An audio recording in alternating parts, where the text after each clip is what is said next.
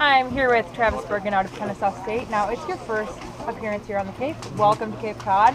What's your first impression of the Cape Cod Baseball League? Oh man, it's uh, a really good opportunity up here. I think for uh, players in the country. So I'm happy to be here, and uh, I'm really excited to be out there. Well, clearly you had no problem finding the strike zone. Seven strikeouts in your first appearance. These are some of the best hitters in the country.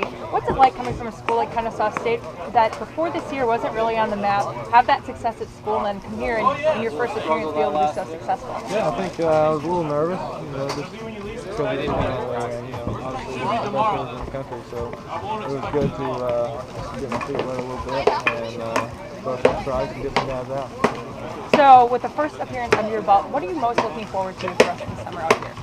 I think I'm just going to try and uh, give the team a chance to win when it starts. You know, it's all about throwing strikes and being down in the zone. Hopefully that'll get some guys out. Well, there you guys have it. Travis Bergen, like he said, all about throwing strikes, and that he did tonight. Braves win 2-1 here at Harwich. So, congratulations on the great.